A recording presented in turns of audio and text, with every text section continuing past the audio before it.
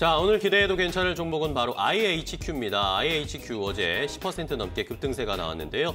자, 두 분의 전문가께서는 오늘 더 올라갈 것인가에 대해서 의견이 좀 엇갈리셨습니다. 한 분은 자, 실적 개선이 기대가 되면서 앞으로 IHQ의 추가적인 상승을 기대해 볼 수 있다라는 의견을 주셨는데 또 다른 한 분은 자, 이것이 뭐 실적이나 이런 것보다 오히려 정치 테마주에 가까운 움직임과 성격을 보이고 있어서 약간은 우려스럽다라는 이야기를 주셨습니다. 과연 IHQ 오늘 올라갈지 아니면 멈출지 자세하게 분석해 보도록 하겠습니다. 자, 오늘 레, 오늘 기대해도 괜찮은 두 분과 함께 하겠습니다. 레몬 리서치의 김민수 대표 그리고 루크 투자 연구소의 임순재 대표 모셨습니다. 두 분 안녕하세요. 반갑습니다. 반갑습니다. 자, 오늘은 IHQ를 좀 확인해 보겠습니다. 어제 뭐 엔터주들이 전반적으로 시장을 좀 끄는 모습이었는데 그중에서 또 IHQ가 관심이 있었습니다. 정말 바닥을 기고 기다가 어제 10% 넘게 급등세가 나왔는데 자, 더 이어질 수 있을까요? 어떤 분이 먼저 설명해 주실까요? 임, 임 대표님이 아, 먼저 제가요? 해 주실까요? 아, 네. 네, 뭐 일단 뭐 IHQ 같은 경우는 케이블 PP 관련된 그 네. 컨텐츠를 제공을 하고요. 그다음에 엔터테인먼트, 특히 어, 연예인 매니지먼트 사업을 이제 같이 영위하고 있는 회사다라고 보시면 될 것 같습니다. 뭐 전체 매출의 한80% 정도가 이제 PP 사업부 쪽에서 이제 발생을 한다라고 보시면 될 것 같고요. 일단 뭐 작년도도 이제 매, 좀 매출 좀 매출이나 영업 이익 부분에서 상당히 좀 적자가 좀 지속이 됐다라고 음, 보시면 될것 네. 같고요.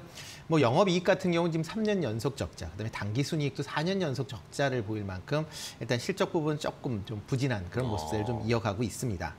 뭐 전일 이제 reopening 관련돼서 이제 엔터주들이 이제 비교적 좀 강했다라고 보시면 될 것 같고요. 특히 이제 그 IHQ 같은 경우는 최근에 이제 NFT나 이제 메타버스 관련된 뭐 투자를 확대하겠다라는 얘기가 나오고요. 특히 이제 모바일 OTT인 바바요를 이제 4월달에 신규 론칭을 하면서 그거에 대한 기대감이 반영되지 않았나라는 생각을 해보고 있습니다. 그렇지만 이제 IHQ 내용을 본다라고 하게 되면 지금 그 사회 이사 중에 이서궁 변호사가 지금 있습니다. 네. 지금 이서궁 변호사가 그 윤석열 당선이 나고 충암고 뭐 서울법대 1년 선후배 관계다라고 아하. 뭐 여- 얘기가 되고 있고요. 네. 특히 이제 윤석열 당선인이 지금 그 직무정지, 아, 직무집행정지 지금 행정소송을 담당을 하고 있는데 음. 거기에 담당 변호인으로 이제 활약을 하고 있습니다. 뭐 일단 윤석열 당선인이 당선된 이후에 안 움직이다 어저께 갑자기 움직였다라는 것도 조금 그 기존의 뭐 실적이라는 뭐 다른 부분보다는 조금은 그렇게 좋은 부- 모습은 아닌 걸로 그렇게 음. 보여지고요. 특히 이제 4월 이후에 사무전환 사채의 이제 전환 행사 시기가 도래하고 있다라는 겁니다. 물론 도래한다라고 해서 전부 다 그게 주식으로 바뀌어서 물량으로 나오는 건 아니겠지만 네. 일단 지금 4월에서 6월, 그러니까 2분기 내에 지금 전환이 행사가 가능한 물량이 한 5,800만 주, 그다음에 8월에 1,600만 주. 그러니까 일단 8월까지 뭐 정, 전체 상장 주식의 49% 이제 7,400만 주가 어, 뭐 전환 가능 물량으로 나올 수 있기 때문에 그런 점 좀 투자할 때 좀 유의하시는 게 어떨까라는 생각을 해봅니다. 알겠습니다. 자, 일단 IHQ를 전반적으로 한번 정리를 해 주셨는데 어, 임순재 대표님은 이게 아직 실적도 뭔가 눈에 띄지 않는 상황이고 오히려 정치 테마적인 성격이 좀 있어서 조금은 좀 보수적으로 봐야 되지 않을까라고 의견을 주셨는데 근데 김민수 대표님은 더 올라갈 거다라고 보시네요.